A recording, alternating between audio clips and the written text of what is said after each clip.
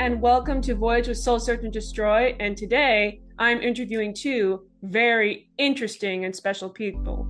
They are Josh Iversen and Jonny Royal, straight from the UK, from the band Iversen. Welcome, Josh and Jonny. Hello. Hello. Thank, Thank you you for for having us. me. Oh, it's Yeah. my pleasure. Thank you um, from coming from farthest United Kingdom to, uh, well, you're not in the United States, but you're talking to someone here from across the pond, and this is, and it's just so cool because I and I think a lot of people on my channel have been followers of yours for quite a long time. And by the way, loved houseplants. That has been on my rotation since it first came out. I still have this from Oh, when I first ordered on Time Slaves. By the way, if you guys are interested in checking out the Iversen discography, you can still find copies on Time Slaves and Bandcamp and pretty much all their fun stuff. So, how did you two get started? How did you become a band? The whole first like EP arcade was essentially my final major project for university. Um, it all stemmed, and that even that stemmed from a parody Instagram video I did with my um, housemates, um, like in the beginning of the final semester, where I found this. Um, I've actually got it here, but um, this like motorcycle jacket There he goes. He's off. here. I found this. I found this in a market. And, Oh, uh, there it is. So good to see that again. It's beautiful. it's beautiful. I know at least uh, 80 people at Melrose Trading Post that would probably commit homicide for that jacket. oh, well, maybe I need to put the price up on. Uh, Strictly off the record. no, um, yeah, no. So um, uh, basically, Drive Ride was was essentially uh, it was because instead of because we didn't have cars for that parody of Drive, we did Ride because we only had bikes. So Drive Ride became a song. It got lyrics. It became a full song. It got a B side that ended up becoming Metline Blues. So um, while I was finishing up that EP, I approached. I was I was at the time on a small development label in North London, and I'd been with them for about two years at the, at that point, and I never released anything beforehand because I was so all over the place with what I wanted to write and stuff. And I finally came to them. I was like, "Hey, I've got something.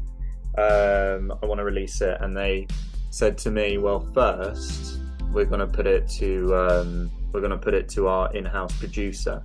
And I was initially very, very worried about this because I didn't want some kind of unknown person screwing up my secret sauce, my special formula, my little, you know, precious art project. Um, so I remember having quite a um, heated conversation with uh, with this guy, um, explaining my intentions, and he assured me he was like, "Ah, don't worry, it's in safe hands. I know what you're trying to get at." And I was still being an asshole. I was like, "You do anything I don't like, I'll I'll veto it."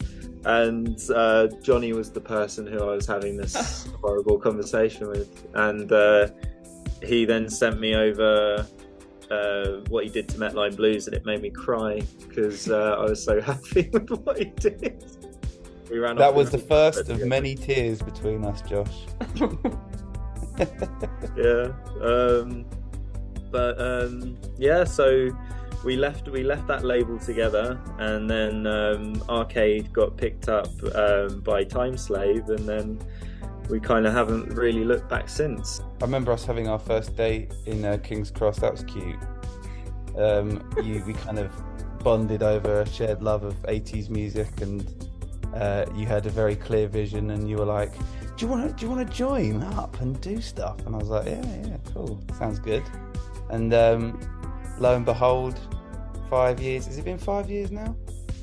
Uh, 2017, six years. Six years. Jeez, It's Six not okay that on, we're, uh, 2017 was six years ago. That's not okay. That's mad. well, six years, and Josh was a groomsman at my wedding, so it show, goes to show that he's a very important person to me. Oh, congratulations. That goes Yeah. both ways. Not, I'm not married, but he would definitely also be a groomsman if I was getting married.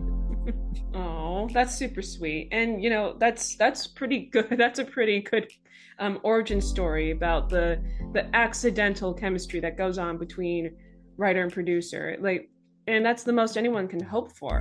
And I can Mm. sort of hear how natural it sounds. By the way, um, Arcade, the first EP released in 2017. You know, it's so interesting hearing your story about that because listening to that EP, like I never would have guessed that it was originally just a little project out of school. I, I may not take myself all too seriously, but when I'm when I'm working on a project, I do I do do it in earnest. So I might be goofy in my approach, but I still I still want to kind of channel um, myself, you know, in a and, and bring some sincerity to to whatever I'm I'm making. So even if it was just like my uni my uni project, I I the, the the end of the day, I, I knew that I would get better marks if the if the EP did well outside of just like purely the kind of theoretical uni sphere. Tried my best to make the best kind of EP I could at the time, and I mean, I'm I'm my own worst critic. Jonny can definitely attest to that. Uh, yeah. You know, I, I don't have any nice things to say about arcade these days because I feel like it's li- li- listening to that causes m- me to kind of uh, have uh, an allergic reaction somewhat because I'm just a like always looking forward, which may not be the best way of being, you know, um, really I know, a lot being. of, I know a lot of um, sort of huge artists. Not saying we're definitely not in that category, but big artists that have looked back at their first ever sort of product and been like, oh, I think it was was it Rush who, I think the band Rush, one of their members just said, oh, I, every time I, I, I listen to our first album, I cringe, and it's like it as the as the producer of that art, it's kind of like ah, look, look where we are now, sort of thing. Do you know what I mean? And um, Yeah. that's I definitely think it's sort of yeah, artists and sort of musicians especially always try and um, I don't know push on and, and do something new and try and evolve. Yeah, I No, agree. I mean, I don't think you can call yourself an artist unless anything you've done even two hours ago embarrasses you. But when you're the creator, when you're the artist, what you do seems ridiculous. Like, I look at some of early mixes I've done, and ironically, those are the ones that everyone seems to love. And I'm like, guys, really? But. But there you have it. I think it's just the nature of an artist to just strive for more, even if they've already hit something excellent. It's it can never be enough. There has to be more, and there is always something more. as as as, as destructive as it can be at times to uh, you know your self esteem and uh, various other elements of your mental health. I I do I would say that having that kind of that outlook also only drives you to create better and better as you as you grow older and as you um, kind of you know refine your craft and uh, become become a more um, well just a better better artist a better person Like the, the carrot on a stick mentality. Speaking of honing one's craft and maturing, let's talk a little bit about your albums. So, how has your um, artistic style, your sound evolved over the years? Like the sound difference between Arcade versus La Faviére versus Houseplants, the latter two being full LPs. How would you describe that process?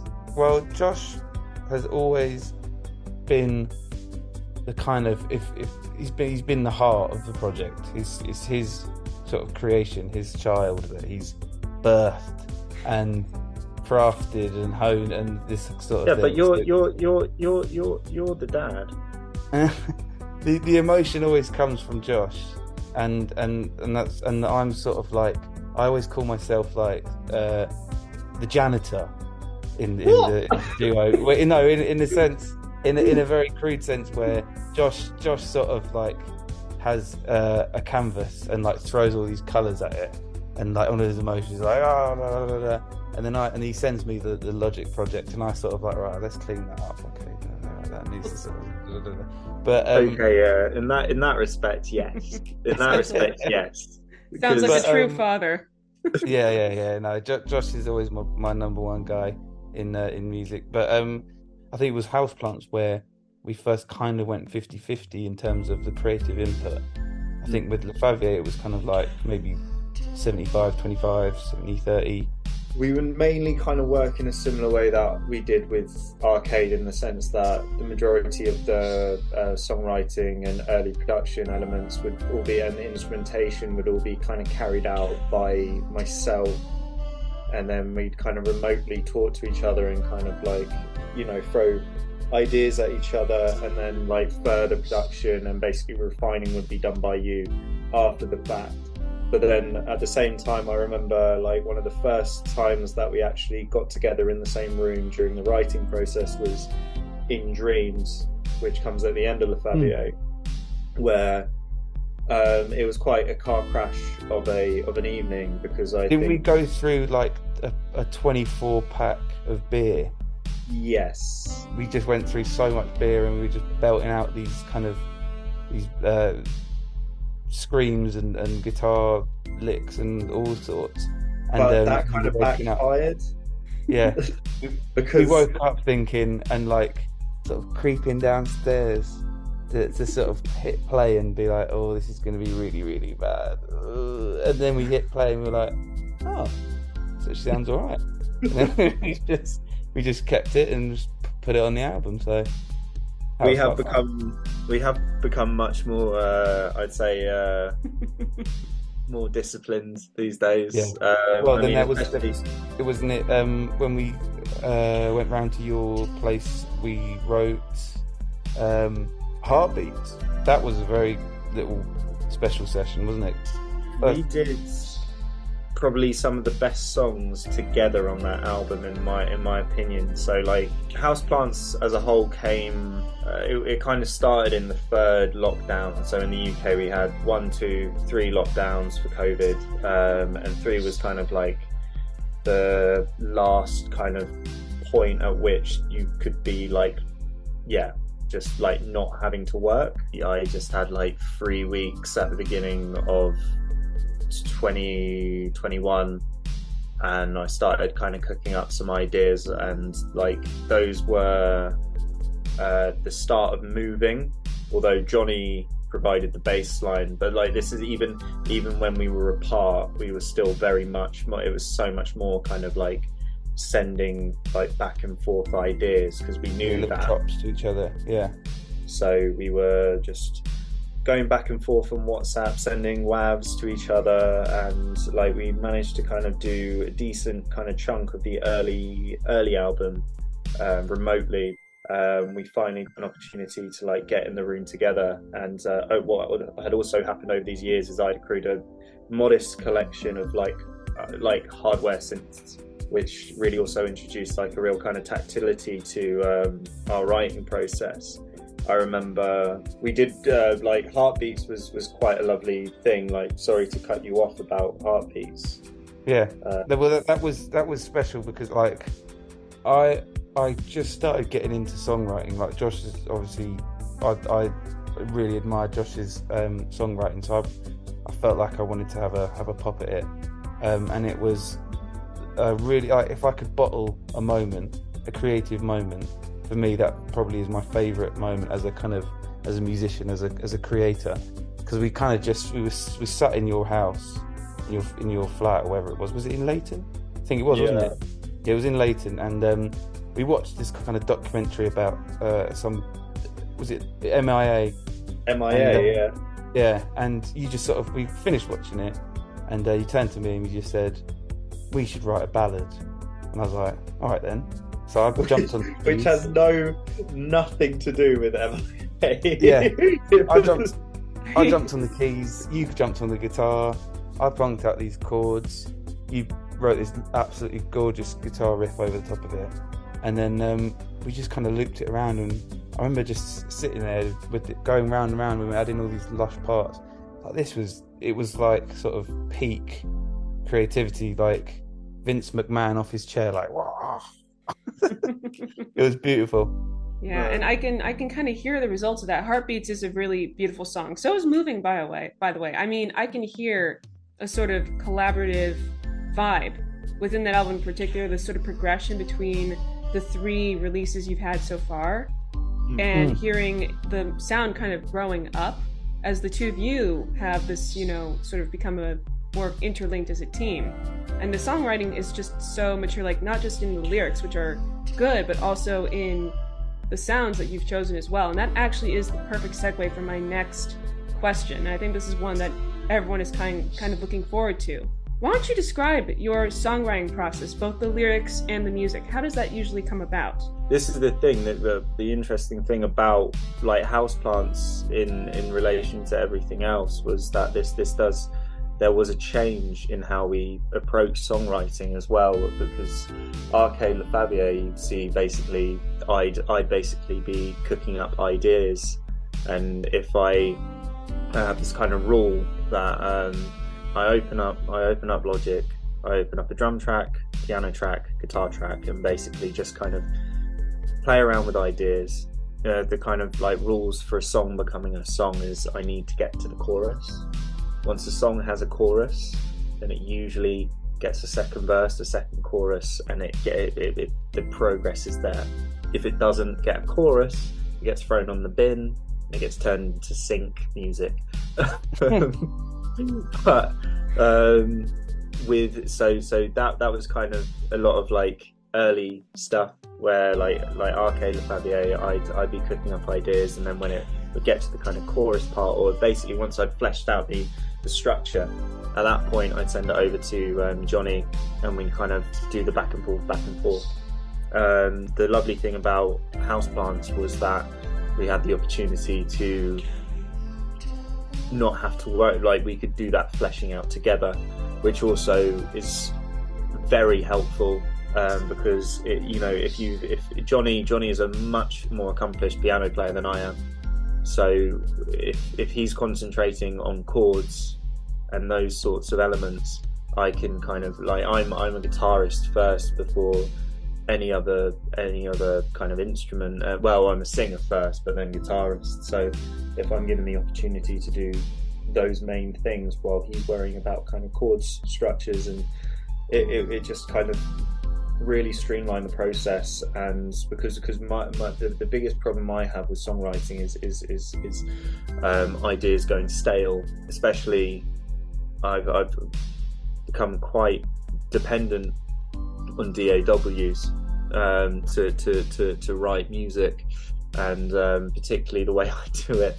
You just the old loop of death. Of, yeah, the eight bar loop of death, where you kind of cook up a, a, drum pattern that sounds sick at first, but after the sixteenth hundredth time hearing that repeat, you're just like, oh, turn it off. I'm going to play PlayStation or I'm going to leave the house. Um, so obviously when you're when you're both in the room and you're you know you can put all of your concentration into the the progression it it improves it i mean i remember like um animal sometimes was another peak like that that, that is is good when we work when when when the two of us it's good because when something gets stale the other one will pick it up and hmm. shoot it another another direction and i think that's yeah. really important um, I, I, when I write by myself, I, I, I can you can get stuck in that loop, and it's just annoying.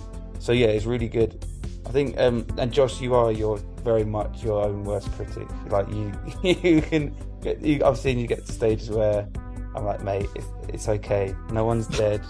You're still alive. Like we can get through this. and then and then we do, and then we have a we have a fun time but we were we were we were joined as well because it wasn't just us on that record, but we we we, we had the privilege of oh, yeah. like working with um, a couple other Max uh, Marlowe. Shout out to yeah, Max Marlowe. Shout out to David Lindsay. Tom Huskin uh, and Jay, the boys from Timeslave. Yeah, they're all wonderful people. Um, but yeah, um, so between between kind of like us and the additional kind of musical personnel we had, it, it, it's kind of uh, Uh, definitely laying down laying the groundwork for I guess where where we're we're heading and where we want to head.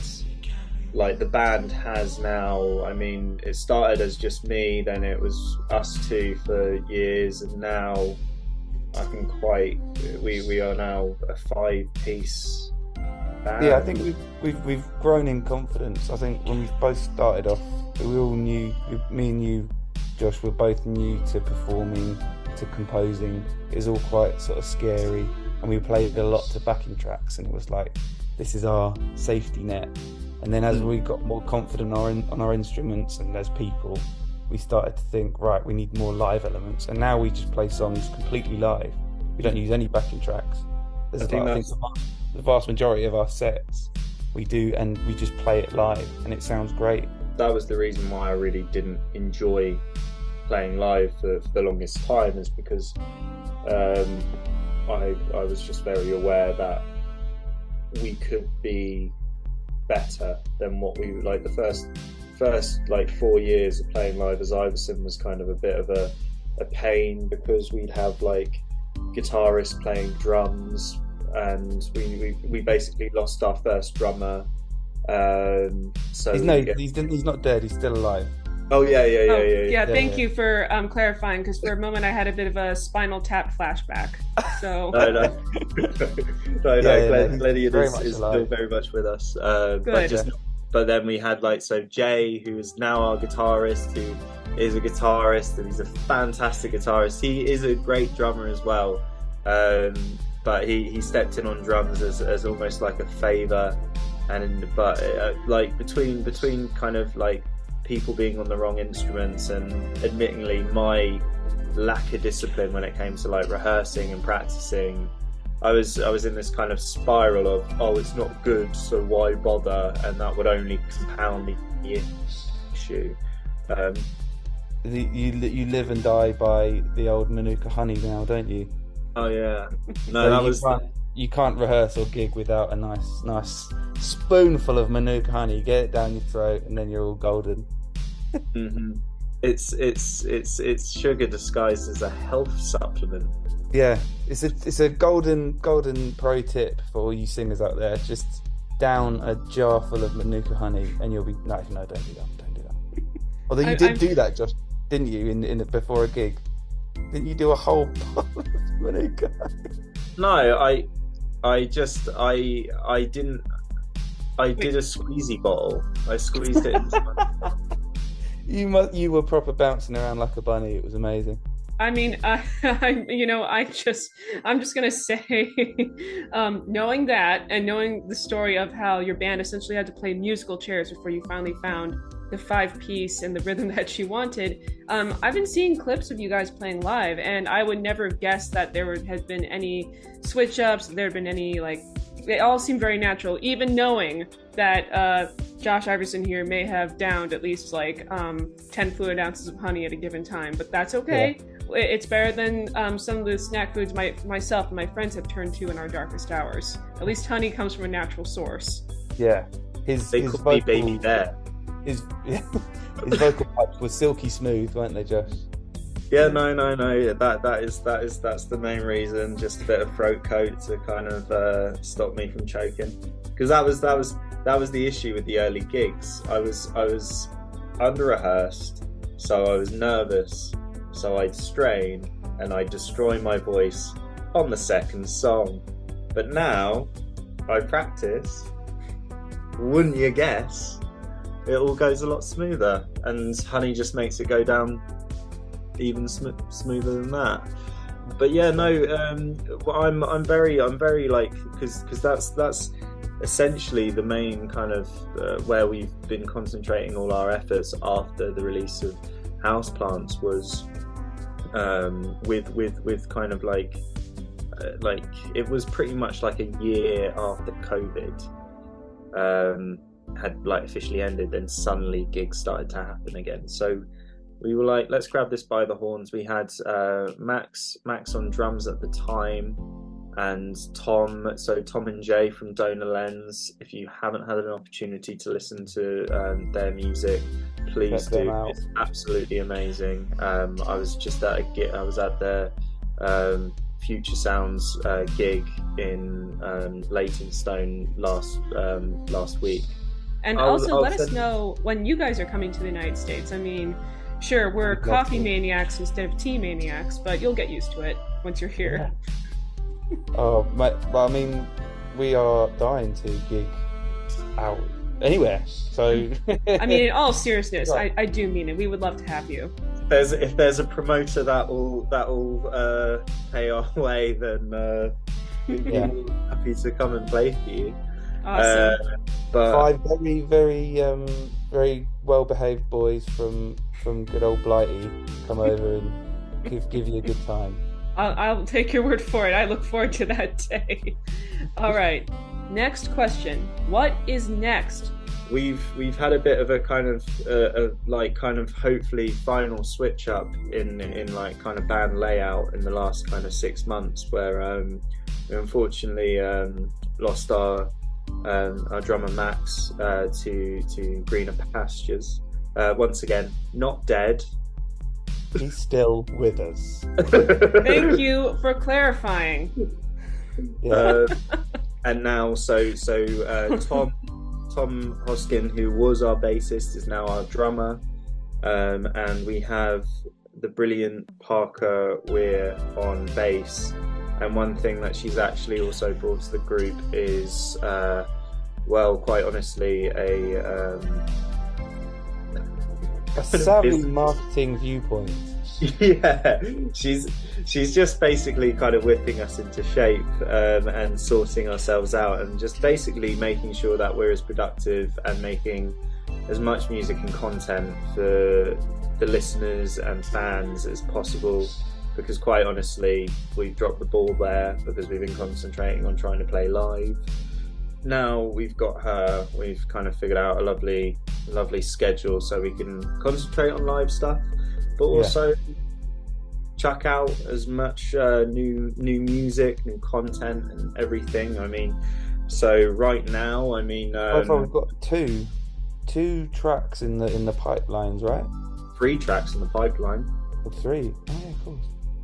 Um, so we are now going to be uh, because everything's all new in TikTok, um, and people don't want to wait for albums anymore. We're going to be doing um, the old drip feed method, uh, the old one, the new drip feed method. So. Uh, Hopefully, we'll be kind of like getting a new single out every month or every other month, and hopefully they'll also have uh, videos or you know bonus bonus stuff all attached to them. Um, we're going to be doing um, we've got a couple giveaways coming up. So i mean to, to right off the top of my head we do have a new single coming out. Um, it's called overwrite slash change. And um, it's it's quite a it's a, it's a safe number um, as far as kind of re-entry for us because it's it's it's it's new and it, it uh, we're we're going in a we're going like we're progressing but it's also very much for people who enjoyed houseplants i'd say. We're working working on a, a music video as well for that um, and hopefully um, all things go well. Um, it's going to be available and out um, on the 20th of uh, october. Put it in your diary um, hopefully it'll be on you know all the all the all the usual places. Um, what runs kind of parallel to this i can't give you a date because uh, because of physical media it's all quite uh, um, up in the air until it's like very much down on paper. Um, but we do have a live cassette uh, like live bootleg cassette coming out um, which is also has a companion vhs um, made by um, mike over at unstable king Remember Uh, VHS? Uh, I people, oh, oh, not only do people remember, it's a huge movement out here, especially in my neck of the woods, to collect them. In fact, I bought a VHS tape just a few days ago. Every time a VHS tape in this community comes out, it's gone within a couple of weeks. So, and I might have to check it out because I'm very curious to see what you sort of what you put on it because that sounds really cool. I'm interested to know. Do do you have VHS player? Because I don't know anyone uh, has one. Yes, I do. Oh my god. I also have a DVD player uh, in this room. Oh wow. Blu-ray. Um, it can play Blu-ray. Nice, nice. I like to cover all my corners, you know. Maybe we should just cover. We next Iversen release was just get every single thing: VHS, Betamax, cassette, mini disc. Just cover everything. I mean, Betamax could be next for all we know. I mean, that's a name I have not heard in a long time. But in all seriousness, I think it's really clever when you have, especially physical media in general, is sort of becoming beyond just a niche thing. People want to have things now. And even though you're doing the everything old is new again uh, drip uh, method, that's both old school and very TikTok friendly. You know, also having this sort of uh, tactility, which again plays into your new approach to music. Oh, yes, indeed. Well, there we go. Look at that. Oh my, that. that's awesome. It looks it looks like the um. You know what it reminds me of? It reminds me of some of those like direct to VHS horror films or action films from back in the day that I used to see at my local Potomac Video. Uh, Mm. ye- oh my god, that's beautiful. It contains. So we played um, our last two gigs in London, kind of back to back, one week after the other. Does it Um, also contain the shiny Mewtwo? no, sorry, go on. um, we we um, made sure to record the deck, and um, also uh, we had videographers filming both sets. Um, so if you um, like, Time Slave will be running a um, live cassette with the recordings from the desk. Um, obviously, this is bootleg, so don't expect. Uh, um, you know the the the I'm trying to think of like a really famous live album, and I'm tripping over myself. The Beatles Uh, live. um, it, Or- it, it, Or that time Monty Python came to the Rose Bowl and it's now on Netflix. Yeah. is it? Well, maybe not on the UK one because Yeah, I, no. I'm yet to see that. I'd be very curious. I mean, it was last time I checked, but then again, we, the people of the United States, can't get enough of our exotic British imports. Oh well, Oh, obviously you're talking get us to us. over. Indeed, exactly. um, but yeah, so we've got the we've got the that um, cassette coming out on Time Slaves, and also the VHS will be available as well. Um, that will be our first giveaway as well. Um, details of that will be popping up on our social media in due course. So really, um, the best way to find out about these uh, these things are um, if you find us on Instagram and join our new mailing list that um, or Ivor Mail as uh, Over mail. has been coined. Um, Look at that. that may stay. That may that may go. I think it's gonna stay. I quite like. I like it. I like it it. too. You've got Ivermail. Yeah. So Maybe we can. you- Can we sample your voice and, and put it in, like, whenever someone gets some Ivor mail? Yeah, sure thing. Yeah. There we go. Say it one more time. Sorry, look. Say it again. I'll just sample it. You've got Ivermail. Perfect. Done. You've you got record that? Ivermail. How did you record that? Um, no, I didn't really. I was Well- just Oh, I've recorded it, and I can send you a soundbite. yeah, fantastic. there we go. Mhm. It's done. Uh, and Um, also, let the record show I will keep that in our interview so everyone will know exactly the source of the famous Ivermail soundbite. there we go. So, is Iversen going on tour anytime soon? Where can we expect to see you? Are you coming to the US anytime soon? we would love to do one maybe some point next year. I mean, this year was this year was the dream, but we've we've had um, like people in the bands, uh, like multiple people in the band have had various kind of big kind of life events that um, obviously take precedent over over these things. Uh, Jonny got married. Um, Oh my mul- goodness, congratulations! Thank you very much. Yeah, happy happiest day of my life. Josh was there.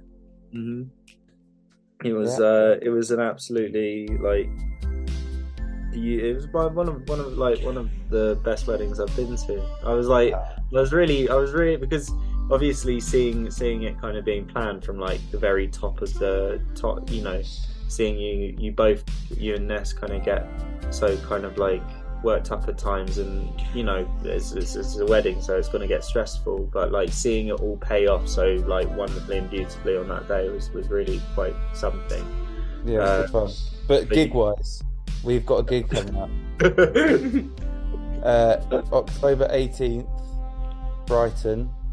Uh, what what was the where, where what was the thing? we are playing we are playing the pipeline um, with uh, we are supporting um, the headliner is actually from your neck of the woods, Hannah. Um, we are supporting Parallels, so they are coming over to the UK for their UK tour. Um, and we are supporting um, them along with um, our old bill mates, um, Infraviolet, um, who we haven't played with uh, for about a year now. Uh, so that's going to be exciting. And I believe we are joined by um, Patrick Fakeman and Slack Machine on uh, on the DJ set. So it's a, it's going to be a packed packed night of music. It's Brighton's one of my favourite places in the UK. Uh, so yeah, come on down. I would love to go to England. I would love to see Brighton. I've also wanted to visit Cornwall, Bath, Oh, and Cornwall's. I've I've uh, yes, I visited London back in 20 was it 14 or 15? It was one of those two, and absolutely loved it. So, if I could, I would take a plane straight to England and visit Brighton and see this show. But for all of you who are able to be in the area of Brighton on the 18th, I highly recommend you support these fantastic people and many more. The entire lineup. You'll be able to hear our new music as well. Yes, we will be dropping this new single um, on that. Uh, we, we will be playing it live. So, everyone, thank you so much for tuning in. Josh and Jonny, thank you so much for coming. This has been great fun, and we'd love to have you back again sometime. Well, thank you for having Thank you us. for having us. Yeah, it was good fun. Of course, my pleasure. And remember, guys, you need to check out Iversen on Spotify, on Bandcamp, on Apple Music, or whatever it is, whatever platforms. Join our mailing list and follow us on Instagram. Yes, sign up so you can get Ivor Mail. And Mhm. also, if you want more interviews with wonderful people like Josh and Jonny and bands like Iversen, then remember to like, subscribe, hit the bell for the notification, and tune in for more Voyage with Soul Search and Destroy. Thank you, everyone. Good night, good morning, wherever you are. Be good people. Bye.